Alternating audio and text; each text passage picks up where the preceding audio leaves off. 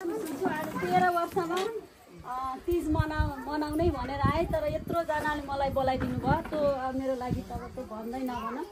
म धेरै खुसी छु। अब यस्तो त कहाँ पाइन्छ? कहीँ पनि पाइन्न। मिलाउँदैछौँ अब बस्न त नेपालैमा बस्ने हो तर अब समयले यति जिम्मेवार दिनुभयो त आइराख्नु पऱ्यो नि त फेरि।